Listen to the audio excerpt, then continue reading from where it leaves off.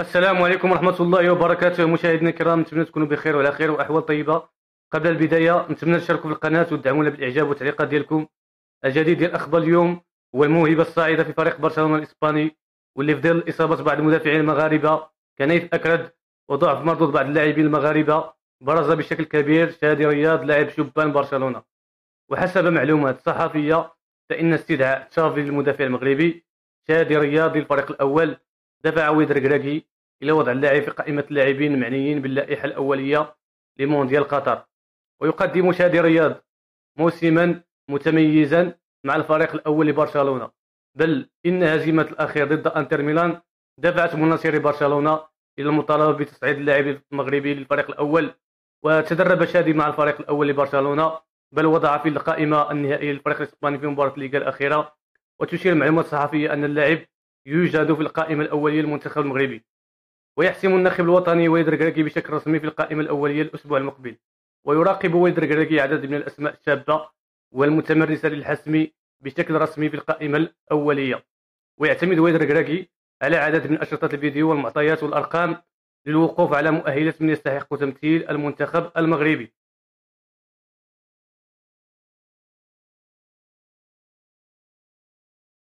أشعرت إدارة نادي برشلونة الإسباني كرة القدم اللاعب المغربي شادي رياض بحاجتها لخدماته في الأسابيع المقبلة وعليه أبلغته أنه لن يمكنه الالتحاق بالمنتخب المغربي. المقبل على المشاركة في التصفيات المؤهلة إلى كأس إفريقيا للشبان التي تستضيفها القاهرة الشهر الجاري.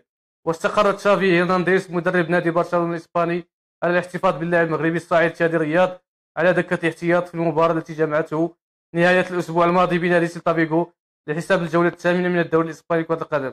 وفي غياب مجموعة من لاعبي خط الدفاع وجه تشافي الدعوة إلى 21 لاعب من بينهم المدافع شادي رياض ورأى شادي النور في مدينة مايوركا بإسبانيا. بدأ مسيرته الكروية مع فريق الأشبال في نادي أتلتيكو رافال في 2009 وبعد عامين عاد إلى مدينته ليوقع على مايوركا وظل هناك حتى 2014 بعد أن حمل قميص نادي سان فرانسيسكو قبل العودة من جديد إلى مايوركا في العام التالي مباشرة. حيث بقي معه حتى 2019 عندما رحل إلى برشلونة.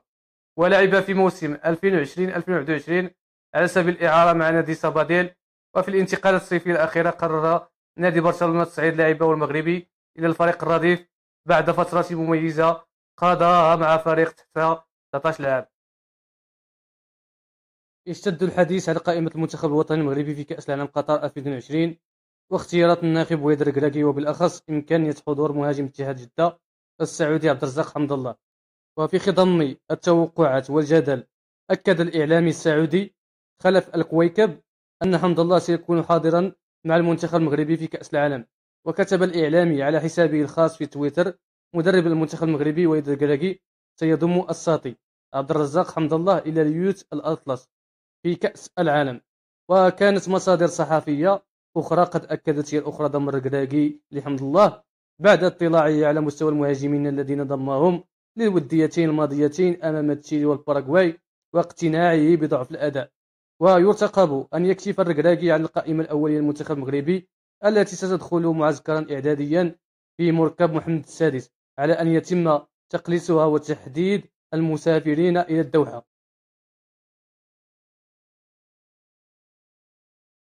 خرج رونالدينا مدرب ساندر دوليج للحديث عن وضع الدولي المغربي سليم أملاح داخل صفوف الفريق البلجيكي موضحا أن لاعب المنتخب الوطني لم يتوصل بعد اتفاق مع إدارة النادي وكانت تقارير صحفية بلجيكية قد أشارت إلى أن أملاح وإدارة ساندر دوليج فشل في الوصول إلى صيغة اتفاق حول تجديد عقد مغربي مع الفريق خلال اجتماع عقده الطرفان مطلع الأسبوع الجاري. وقال ديلا في تصريحات أوردها موقع بلجيكي الوضع لا يزال على حاله ولا يوجد تطور في الموضوع لذا لا يمكن أن يكون أملاح متاحا لمباراة أنتيرب غدا الأحد. وتابع لا يوجد حتى الآن اتفاق بين أملاح والإدارة وأنا لا أشارك حقا في هذه القضية وفي هذه المفاوضات. أنا بعيد عن هذا الملف لأنه بين النادي واللاعب. وقال أيضا في الوقت الحالي سليم أملاح يتدرب مع فئته تحت 23 سنة وسنرى في الأيام القليلة القادمة ما سيحدث. يشار إلى أن عقد أملاح مع السندا ليج ينتهي شهر يونيو السنة القادمة. ما يدفع إدارة الفريق للضغط على لاعب المنتخب المغربي لتجديد عقده في ظل العروض التي يتلقاها من طرف العديد من الأندية.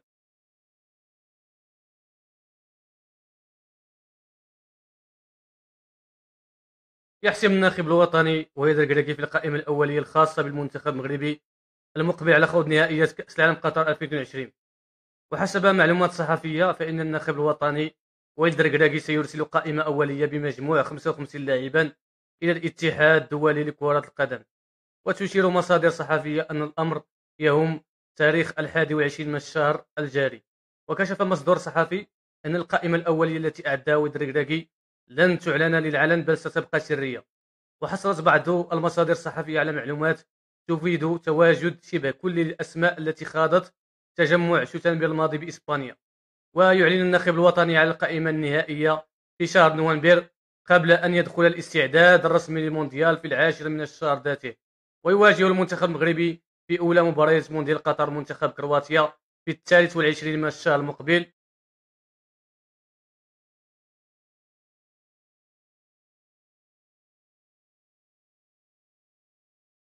باتت مشاركة اللاعب المغربي عمر لوزا في نهائيات كأس العالم قطر 2020 مشكوك في أمرها وفي الوقت الذي أكد لوزا جاهزيته من خلال عودته للميادين بصورة جيدة بعد أشهر من غياب الإصابة جاء قرار الاتحاد الإنجليزي ليهدد مشاركة اللاعب في مونديال قطر.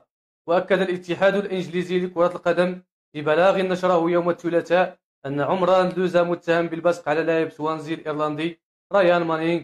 ووقعت الحادثة في الخامس من الشهر الجاري في لقاء هزم فيه زملاء لوزا بهدفين مقابل هدف واحد. بحساب الجولة الثالثة عشرة من الدوري الإنجليزي الثاني.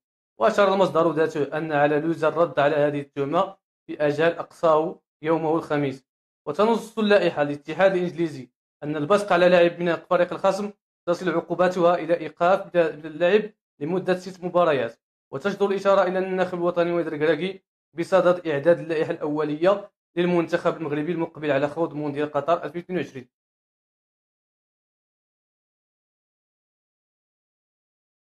أعربت شركة أديداس للألبسة والأحذية الرياضية عن أسفها واحترامها للشعب المغربي فيما يتعلق باستخدام الزليج المغربي تصميم قميص لإحماء المنتخب الجزائري.